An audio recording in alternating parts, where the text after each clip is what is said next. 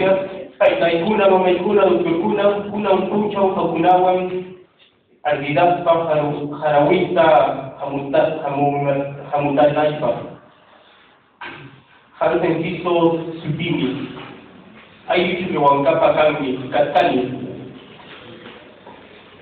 El título de la ponencia es La propuesta de una sociedad encarnada en principios runacuna, en Tupacamaru, Kama, Saitanchipma, Halitaki. Esta tiene como objetivo esclarecer el proceso por el cual el sujeto indio logra, a través de la migración y su establecimiento en Lima, regresar a la unidad primigenia, que es el aire, y consolidarse como un sujeto auténtico, como un sujeto runa, un runa vigente, capaz de sobrevivir por sí mismo e imponerse. Para esto voy a dividir mi exposición en tres partes. Eh, la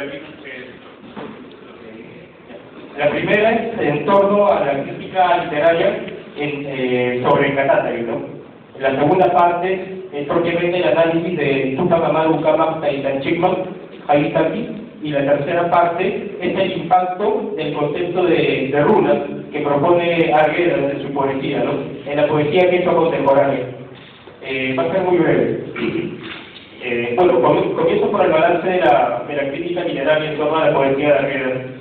Eh, en 1995, eh, bueno, Nelson Osorio eh, constata que, que en su última etapa de producción estadística, eh, cambió radicalmente el enfoque, el enfoque que tenía en torno al problema de, la integración nacional. Nelson, Nelson Manrique nos dice que Argueda en ese momento ya descarta el mestizaje como una posible solución. eso fue en el 95, 13 años antes, en el 82, eh, eh, y vigorosamente eh, la problemática planteada por Manrique ya iba siendo contestada por un cautivo de Pauca. Me refiero al, poeta Eduardo Inamango. Bueno, el punto de partida de la presente ponencia se circunscribe a una crítica literaria cuya tendencia ha sido la de establecer un nexo directo entre la poesía larguera y la llamada poesía indígena, el primer referente sólido lo constituye la tesis de Ninamango del 82, Catatay y la poética quechua de Arguedas. Para Ninamango, el incanato no fue otra cosa que el desarrollo de los airios, los cuales, sobreviviendo hasta la actualidad, conservan lo más puro de la poesía quechua migrante indígena, ¿no? Ninamango, página 26. Poesía indígena de la cual Arguedas representaría una continuidad viva, pues transmite el sentimiento del hombre quechua. Ninamango, página 26. Eh, en otra tesis del año 95, eh, Poesía actual escrita en quechua, de Isaac Juan Manrique, eh, se ubica a como, un como el productor del llamado discurso de la resistencia histórica, es decir, el discurso de transformación social, ¿no? o Pachacuti, eh, Isaac Juan página 123. Esta posición, enunciada por Juan Manrique, eh, puede ser dilucidada con, con, la propuesta de Manuel Arruno, en su artículo La perspectiva del autor implícito en la obra de José María Herrera. Eh, el profesor Manuel Larú se vale del concepto de liminalidad para afirmar que el sujeto de la narrativa de Herrera en una primera etapa pertenecía al mundo occidental, en esta última etapa, la de su poesía y la de los zorros, eh, estaría conectado con otra, con esta otra cosmovisión, la indígena, ¿no? Es por eso que dice, eh, dice el profesor Larru que Catatay, digamos, tiene yo lírico, digamos, que adopta una voz colectiva. Eh, la voz página 371.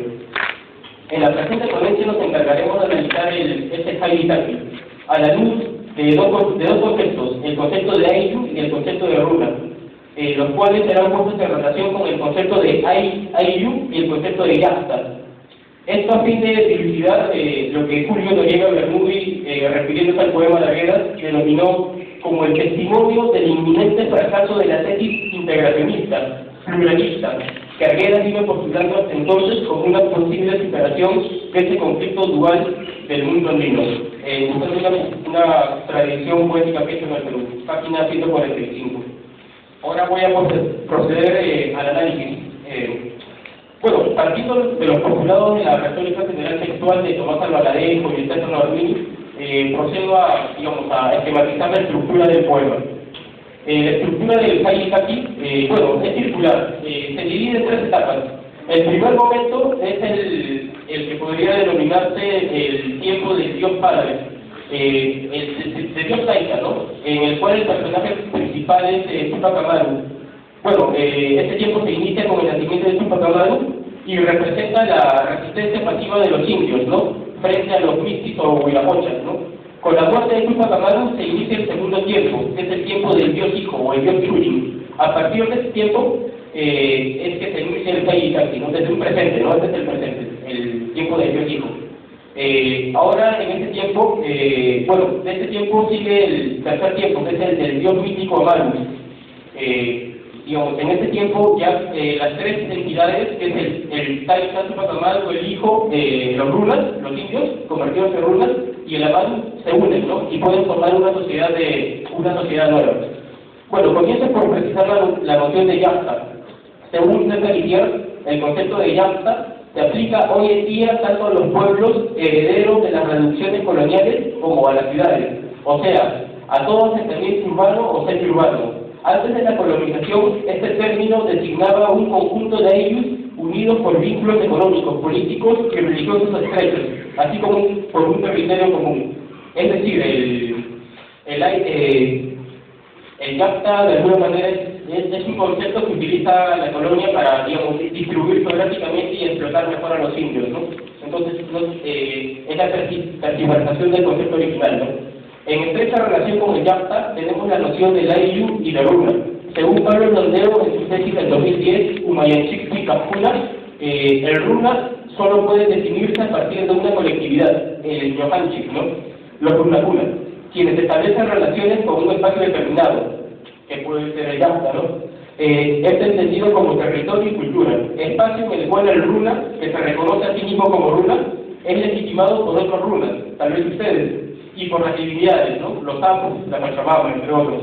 La estructura social basada en relaciones de parentesco y trabajo eh, que resguarda los relaciones es el aire, ¿no? en tanto estructura social. Aquel que está fuera de los aires es el manaruna, o el no hombre, ¿no? Por ejemplo, que vendrían a ser los hacendados, los bunacochas, o los blancos, ¿no? En general.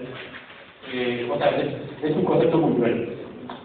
Ahora bien, eh, el concepto de yasta que aparece en el Kai eh, se presenta de manera dinámica, es decir, no es estático. En el tiempo del dios Taika, Tupac Amaru, existen muchos pueblos, muchos yastapunas, es decir, está dividido todo el imperio Taiko en pequeños pueblos, en pequeños yastas, para poder explotarlos mejor. Entonces, estos, estos yastas están bajo la tutela de los huiracochas, ¿no? que ostentan características divinas, como Tupac Amaru también. E, en ese tiempo se produce eh, digamos, eh, este tiempo es anterior al despojo de las tierras comunales. Eh, entonces, eh, hasta en ese momento, en el tiempo del dios Taita, la identidad del indio estaba muy conectada con lo que es la tierra, ¿no?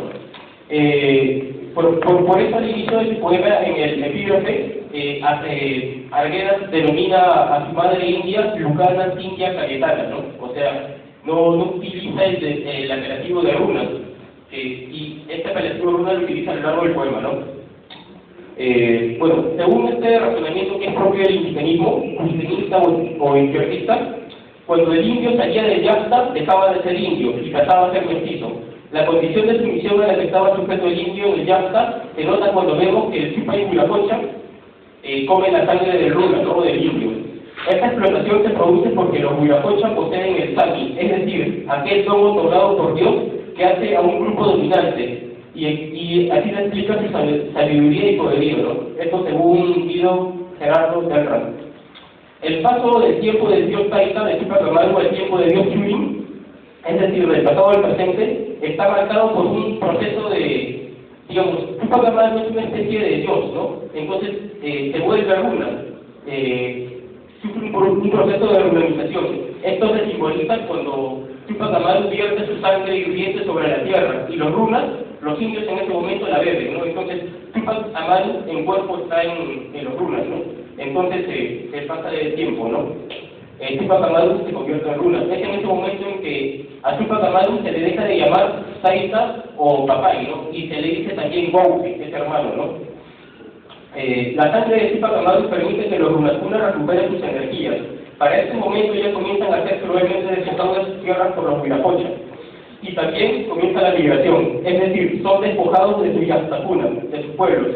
Esto significa que son despojados de aquello que les da identidad, pero a pesar de ello, sobreviven y pueden expandirse por todo el mundo. Es aquí donde debemos poner mucha atención y preguntarnos qué es aquello que les permite estar junto a todos estos indios. ¿no? Eh, la respuesta la vemos cuando el narrador comienza a reconocer a sus semejantes y estos lo reconocen a él. Voy a. Somos miles de millares, aquí, ahora, estamos juntos, nos hemos congregado pueblo por pueblo, nombre por nombre, y estamos apretando a esta inmensa ciudad que nos odiaba, que nos despreciaba como excremento de caballos. Además de esto es importante señalar la capacidad del narrador y por, y por extensión de la nomenclatura de sacralizar nuevos espacios ¿no? y restablecer el culto de las deidades. Bueno, eh, como señalamos hace unos momentos, esto solo puede efectuarse en la medida en que se apegue a la unidad fundamental que es el aire, ¿no? Es decir, eh, en la medida en que no exista una nostalgia y melancolía, ¿no? Un, un, un, una especie de tristeza enfermiza que te ata la tierra de la cual saliste, ¿no? Acá cito a Julio en el de Bernoulli. Eh, él dice, el sujeto migrante, trágico, nostálgico, lo llama, se define esencialmente como un desarraigado. Tampoco siente como una orfandad de la pérdida de los padres, de los padres, sino la absoluta, la que denuncia la carencia y el desamparo de todo el universo andino. Bueno, en este caso pasa todo lo contrario, ¿no? Los runas migrantes hacen una invasión alegre, furiosa, amorosa, ¿no? No extrañan, no extrañan celosamente su pasado, su tierra, ¿no? Entonces, es una nueva fundación y también tienen un padre, no son huérfanos. Eh, en este sentido, eh, es de suma importancia contar lo siguiente. Antes de la muerte de Amaru, en el tiempo de Dios Taika, todos los indios estaban disgregados en Yastacuna, como les explicaba, para ser explotados, siendo imposible que tengan una conciencia de unidad. Entonces, eh, con la muerte de Amaru, el Yasta vuelve a adquirir su significado original, ¿no? En tanto unidad política, social y religiosa que gira en torno a una deidad, que es Tupac Amaru. Eh, aquí tenemos eh, al inicio del Haitaki lo siguiente, ¿no? Estoy gritando, soy tu pueblo, uno solo, tu gente. Eh, o también dice, hemos de convertirla a esta ciudad en pueblo de hombres, un solo pueblo, ¿no? Que entonen himnos de las cuatro regiones de nuestro mundo. Página 16. En el tiempo de la Maru, que es el tiempo futuro, el tiempo que vendrá, eh, el concepto de Yasta eh, se mueve bajo una dinámica más intensa. Eh, cuando los, los los indios migran de la sierra a, la costa, a la ciudad de la costa, dejan su Yastacuna abandonado. Pero, ¿qué es lo que va a pasar? Según el poema, cuando triunfen los runas, van a volver a sus tierras para recuperar su Yastacuna. Pero, pero eso pero estas yastacunas van a ser incorporados al, al gran yasta, al Hasim yasta, del cual les hablaba hace unos momentos, ¿cierto? Entonces, se va a formar la unidad de todos los runacunas, una sola nación. Bueno, acá no se está hablando de, de lo peruano, ni de lo bolivariano, ni de lo peruano-boliviano, ¿no? se está hablando de los runas. Eh, bueno, iniciamos este breve abordaje, eh, bueno, ya terminando, afirmando que la estructura del Taki es cíclica, la única información que poseemos de la Amaru es a través de la ciudad de Amaru y de los Runacunas. Aparte de esto, no sabemos nada más del pasado lejano, del pasado mítico. La única manera de acceder al pasado para los Runacunas, tanto cognitivamente como experiencialmente, es a través de la realización del futuro. Un único futuro que solamente será posible cuando el Amaru descienda y se conjugue, se conjugue con los Runacunas, y con Tupac Amaru, por supuesto. El descenso de la Maru significará la recuperación del Sami por parte de los vacunos. El Sami significa, según Geraldo Lerman, aquella capacidad de inventar o crear industrias, edificar ciudades y mandar política y militarmente. Es decir, en este momento se podrá, solo recién en este momento, construir la sociedad basada en principios runacunas, ya. Eh, bueno, ahora para terminar, eh, quisiera, digamos, eh, eh, reseñar brevemente el impacto que tiene este concepto que acabo de describirles, el sujeto runa moderno, el sujeto ya no limpio, ¿no? sino el runa ya más puro, el runa que ha regresado a sus orígenes. Tiene un gran impacto en la poesía que hecho moderna, especialmente en dos autores. Uno de ellos es eh, Reinaldo Martínez Parra con su poemario Chirapa, que es del año 1992, y, y la otra poeta es eh, Gloria Cáceres, en una cuartija, ¿no? si tú me quisieras, del año 2010. Bueno, eh, en el poema, eh, eh, a ver, mm, en el poema de Reinaldo Cáceres, eh, titulado Yancuna, eh, tenemos la figura del suyo, que está configurada a partir de la interioridad del yo poético. O sea, ya no es el suyo clásico incaísta, ¿no? Sino es un suyo que sale del, del, corazón del yo poético. Entonces, eh, digamos, lo runa es algo que viaja con uno mismo y que puede ser aplicado en cualquier espacio y tiempo, ¿no? Eh, bueno, esto lo vincula inevitablemente con el concepto del aire. Eh, bueno, eh, la poeta Feria Cáceres tiene un poema que se llama bueno, a ver, un ¿no? Es un poema, significa vértigo, es un poema amoroso. En este poema de yo poético es una luna, una mujer, una Warmi luna, que una mujer eh, runa, eh, que partiendo de sus principios de, de Ayu, eh, se plantea paradojas a sí misma, se comienza a cuestionar, cuestiona su existencia, es decir, comienza a reflexionar sobre principios sólidos, ¿no?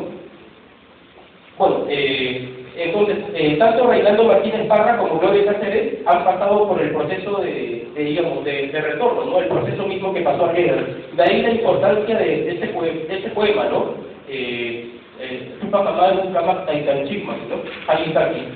Eh, bueno, eh, quería, bueno, creo que eh, bueno, eh, Ñopapa, Tukurasujuña, Unatunapa para Ratunagua, Yapanchi, Kayukuna, kuyunakuspa yankukusum musukumanta lluqsinanchikpaq ayllu tutapi kallpaqkuna ayllu makiskuna llurpa garasunki qankuna rayku kay kunusyachikta tukurqani tukurqani muchas gracias